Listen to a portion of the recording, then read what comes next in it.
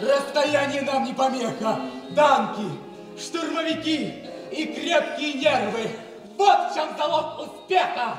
Успех, который неизбежно перерастает в крах. На сцене огромный шар, словно мир, в котором живет самый страшный диктатор 20 века. В этом спектакле нет биографии Гитлера. Здесь показан только драматизм и трагичность его эпохи. Бертольд Брехт в пьесе «Страх и нищета в Третьей империи» описал быт и нравы целого народа, который оказался под властью фашистов. Тогда он еще не догадывался, к чему приведет реализация этих идей. Но уже в этой пьесе обнаруживается понимание губительности нового режима как ужасно, да, когда идея приходит национального возрождения, и потом эта идея становится оружием для того, чтобы подавлять себе подобного. А после этого появилась а, мысль, но ну, это давно уже в процессе работы, взять еще бравого солдата Швейка, фантасмагорического такого персонажа для Второй мировой войны, и его как камушек поместить в эту государственную мельницу.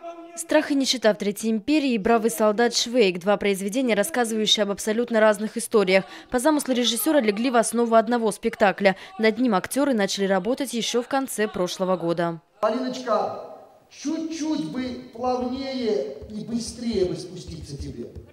Ладно? Поехали еще разочек, начинаем. Сейчас проходят только первые репетиции, поэтому режиссеру приходится по несколько раз останавливать каждое действие. Ведь актеры на сцене здесь не только переживают жизни своих героев, но и выполняют непривычные для себя трюки. Первый раз такой опыт, что вот э, в такой коробочке меня там закрыли, и я ничего не вижу, потому что там дымят в глаза свет, и я не слышу, потому что акустика совершенно другая, нежели там на сцене. То есть, по, по, по большому счету, получается, что я не слышу, не вижу себя и как-то надо приспосабливаться. Такой масштабной постановки на сцене драматического театра не было уже давно, рассказывает режиссер. В спектакле задействована большая часть актеров. Кроме того, в последний раз Брехта на этой сцене ставили больше 20 лет назад. Анастасия в спектакле исполняет две противоположные роли – генерала из окружения Гитлера и жену-еврейку. Рассказывает, такой синтез добра и зла очень сложно играть в одном спектакле.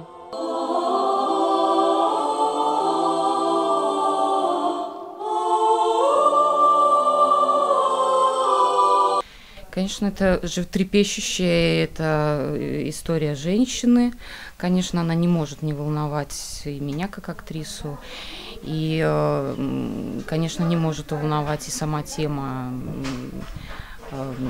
фашистской Германии. До премьеры спектакля «Страх и война» осталось еще больше месяца. Малакжане увидят постановку только в октябре. Поэтому пока есть над чем работать, говорят актеры. И это далеко не единственный сюрприз, который театр готовит зрителям. 22 сентября здесь состоится премьера еще одного спектакля по современной пьесе Михаила Хейфица «Спасти камер юнкера Пушкина».